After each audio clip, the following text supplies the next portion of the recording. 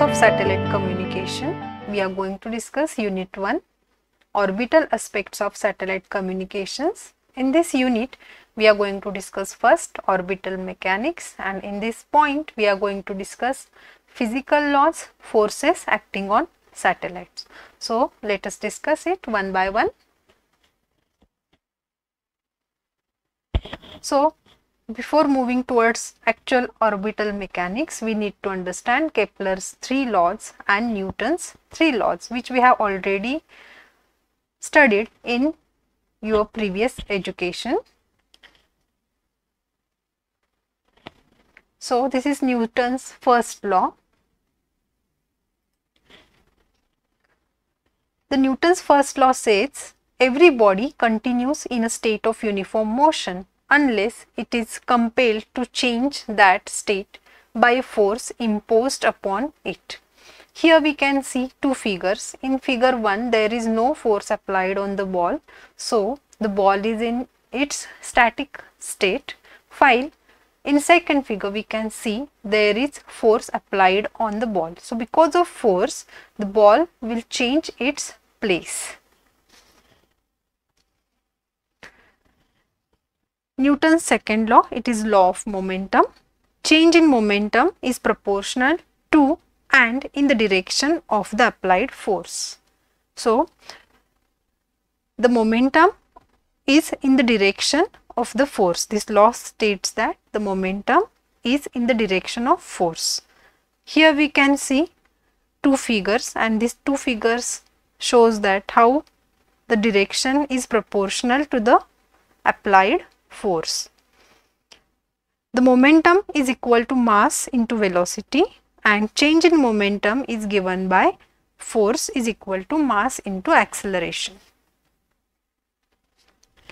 Newton's third law, it is of, of equal action and reaction. For every action there is an equal and opposite reaction.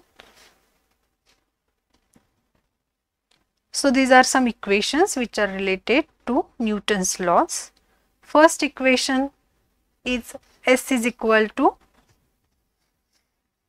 ut plus half at square where s is distance travelled in time t, u is the initial velocity at time t is equal to 0, a is the acceleration at time t. Then second equation is v square is equal to u square plus 280. Phi is the final velocity at time t. Phi is equal to u plus at and F is equal to mass into acceleration as stated by Newton's second law.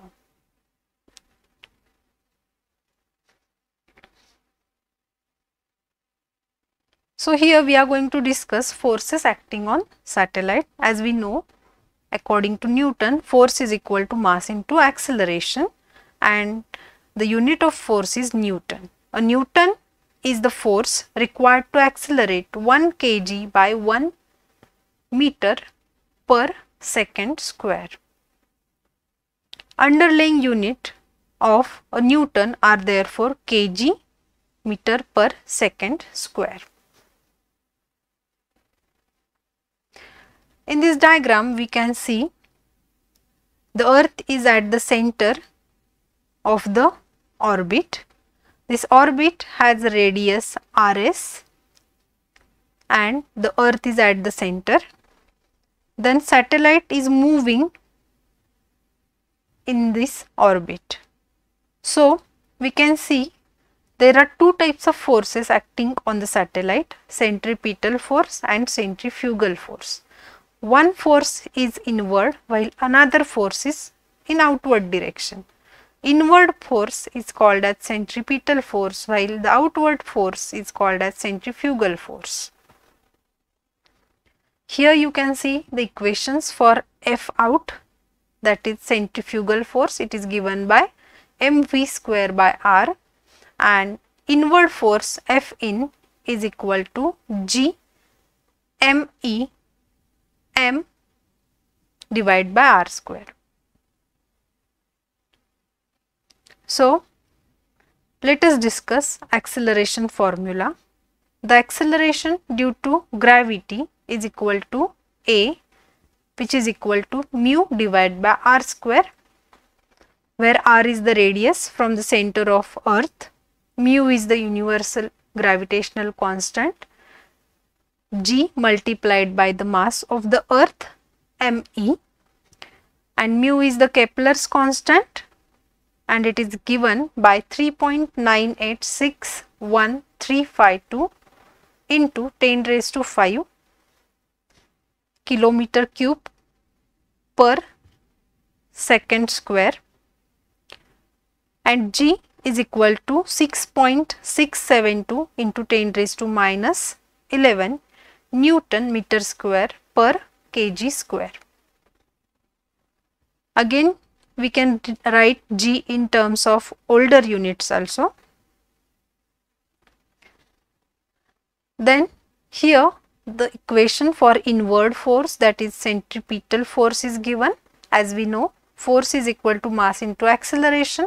So, we can place the value of acceleration here a is equal to mu divided by r square here acceleration is because of gravity at a distance r from the center of the earth. So, we have used formula A is equal to mu divided by r square and the unit for this is kilometer per second square where the constant mu is the product of universal gravitational constant g and the mass of earth me.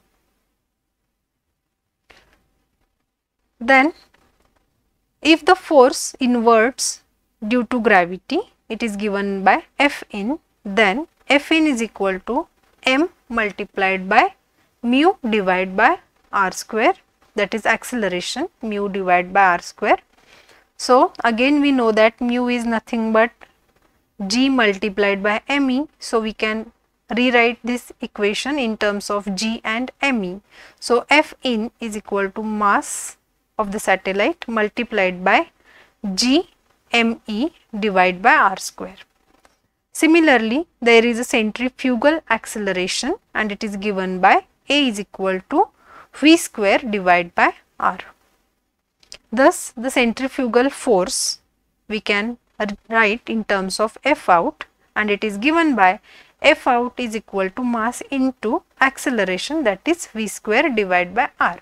So, F out is equal to m multiplied by v square divided by r. So, if the forces on the satellite are balanced, then F in is equal to F out. So, we can place the values of F in and F out and we can rewrite the equation m multiplied by mu divided by r square is equal to m multiplied by v square divided by r.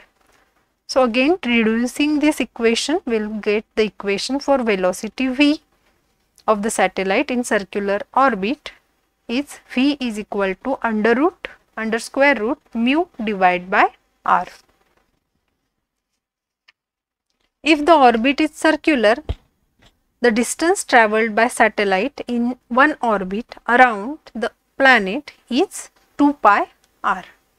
So, we know that r is radius of orbit from the satellite to the center of the planet. So, with the help of this we can calculate orbital period for satellite.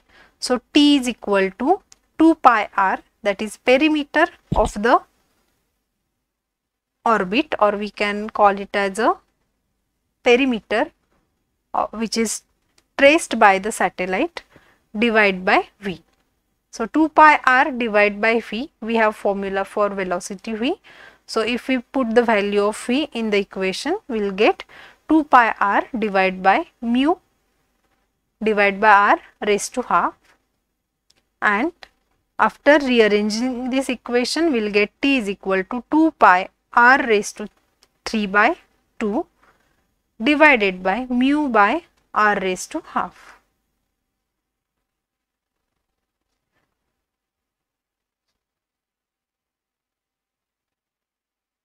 So, these are some examples of orbital velocities and periods. Here the satellite Intelsat which is at height 35,786.43 kilometer. It revolves with orbital velocity 3.0747 kilometer per second and the period is 23 hours 56 minutes and 4.091 seconds. Similarly, we have ICO Global, Skybridge, Iridium satellites. So, with the help of this equation, we can easily calculate orbital period of the satellite and the velocity of satellite in circular orbit. Thank you.